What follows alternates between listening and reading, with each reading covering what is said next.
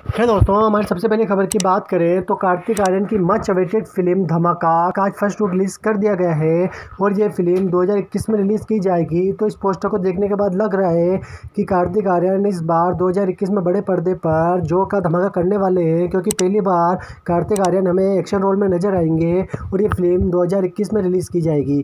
तो बात करें आज की हमारी दूसरी खबर की तो अक्षय कुमार की आने वाली फ़िल्म मतरंगी रे की शूटिंग जोरों शोरों से चल रही है और इस फ़िल्म का गाना जो कि अभी ताजमहल पर शूट किया जा रहा है तो इससे जुड़ी हुई अक्षय कुमार ने अपने सोशल अकाउंट पर एक फ़ोटो शेयर की है, जिसमें अक्षय कुमार को डिफरेंट लुक में देख सकते हैं। साथ ही साथ इस फ़िल्म में सारा अली खान, धनुष इन रोल में नज़र आएँगे और ये फ़िल्म 2021 में रिलीज़ की जाएगी। बात करें आज की हमारी अगली अपडेट की तो राणा दगुपति और पवन कल्याण पहली बार हमें एक साथ तेलुगु फ़िल्म में देखने को मिलेंगे, जिसकी शूटिंग जनवरी से स्टार्ट की जाएगी और इस फ़िल्म को डायरेक्ट करेंगे सागर के चंद्रा और इस फ़िल्म का टाइटल और रिलीज़ डेट अभी कंफर्म नहीं हुई है तो ये फ़िल्म समथिंग 2021 में रिलीज़ की जाएगी। और बात करें हमारी अगली खबर की तो राम की आने वाली फ़िल्म रेड का ट्रेलर चौबीस दिसंबर को रिलीज़ किया जाएगा।